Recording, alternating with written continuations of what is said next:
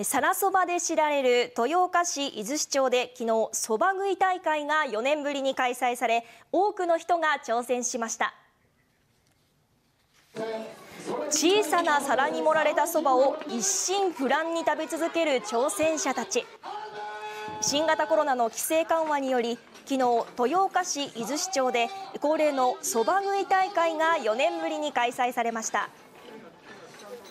48回目を迎えた今回の大会は感染症対策として参加人数を減らして開催されましたが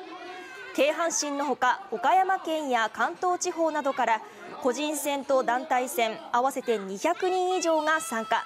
夫婦と小学生以下の子どもの3人1組で参加する部門では子どもの応援を受けお父さんたちが頑張っていました。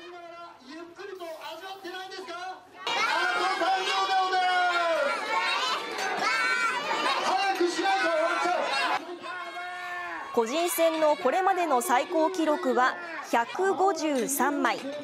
今回は117枚を食べた大阪市の田村秀幸さんが優勝しました。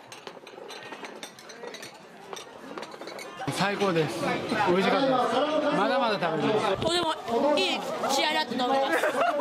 非常に辛かったですが美味しかったです。最初はいけたけど後からめっちゃしんどくなった